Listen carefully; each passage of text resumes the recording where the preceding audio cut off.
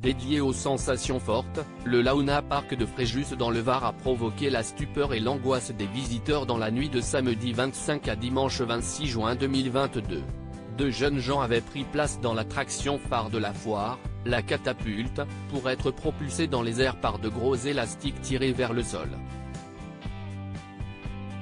Cependant, une des cordes a rapidement cédé, laissant les passagers se diriger dangereusement vers la droite.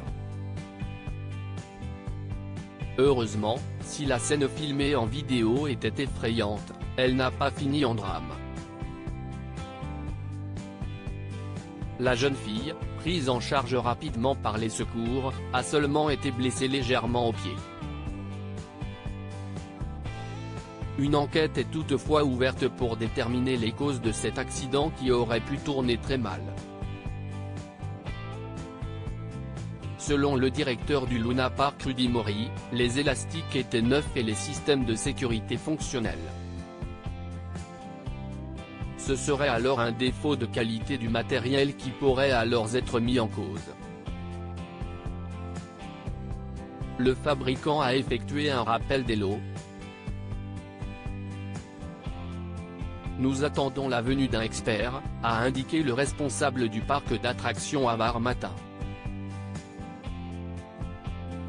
L'attraction est évidemment fermée en attendant les investigations. Par ailleurs, aucune plainte n'a été déposée par les victimes de l'accident. Le fait que l'élastique lâche au tout début du tour du manège et non pas en pleine propulsion a permis d'éviter le pire. On peut se souvenir d'un autre accident qui a eu des conséquences plus graves comme à la fête foraine du Mans en 2021. Un adolescent de 13 ans avait eu les deux chevilles brisées à la suite d'un accident survenu dans le manège bateau pirate durant les dernières vacances de la Toussaint. Lorsque celui-ci a effectué ses mouvements de balancier, l'adolescent n'a pas réussi à s'accrocher pour se maintenant et aurait été projeté de haut en bas, ce qui a provoqué que ses pieds se sont accrochés dans les barreaux, avait relaté à l'époque Ouest France.